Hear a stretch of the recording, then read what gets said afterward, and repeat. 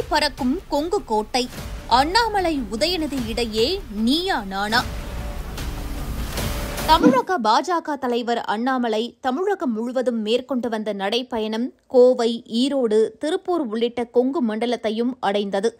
அப்போது திமுகவின் கோட்டைக்குள் அண்ணாமலை நுழைகிறார் என்பது போன்ற விமர்சனங்கள் முன்வைக்கப்பட்டன.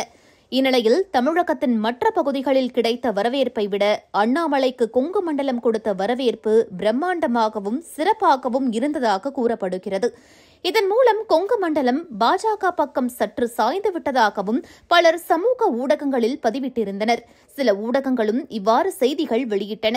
இதற்கு காரணம் கொங்கு மண்டலத்தில் திமுகவில் ஏற்பட்ட உட்கட்சி பூசல்கள் திமுகவினர் மீது தொடர்ச்சியாக கூறப்படும் மணல் கொள்ளை உட்பட பலவித புகார்கள் என்றும் இதனால் திமுக மக்கள் மத்தியிலும் தன் கட்சி நிர்வாகிகள் மத்தியிலும் கொங்கு மண்டலத்தில் பெரும் சரிவை கண்டுள்ளதாக செய்திகள் வந்தன. இந்நிலையில் பாஜக மாநில தலைவர் அண்ணாமலை அப்பகுதியில் நடைப்பயணத்தை மேற்கொண்டு அங்கு இருக்கும் ஒவ்வொரு மக்களிடமும் உரையாற்றி அவர்களின் கோரிக்கைகளை ஏற்றது கொங்கு மண்டலத்தில் திமுகவிற்கு ஒரு பலத்த சவாலை ஏற்படுத்தியுள்ளதாக அச்செய்திகள் தெரிவிக்கின்றன.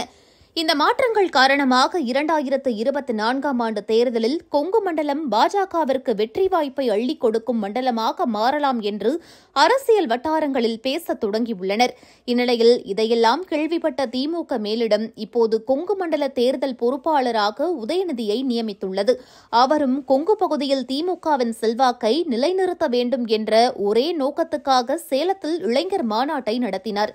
மேலும் இரண்டாயிரத்து இருபத்தி நான்கு நாடாளுமன்ற தேர்தலை முன்னிட்டு திமுக தனது ஆலோசனை கூட்டங்களை கடந்த இருபத்தி நான்காம் தேதியிலிருந்து நடத்தி வருகிறது.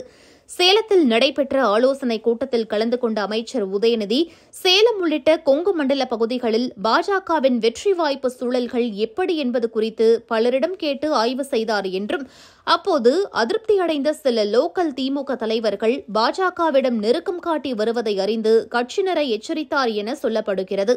கொங்கு மண்டலத்தை சேர்ந்தவர்கள் எவரேனும் திமுகவிற்கு எதிராக உள்ளடியில் ஈடுபட்டால் அவர்கள் மீது கடுமையான நடவடிக்கைகள் எடுக்கப்படும் என்றும் எங்கெங்கு வாக்குகள் குறைகிறதோ அந்த பகுதி பொறுப்பாளர்கள் மீது கடும் நடவடிக்கை எடுக்கப்படும் என அவர் எச்சரித்ததாக பல்வேறு செய்தித்தாள்களில் கூறப்பட்டிருந்தது.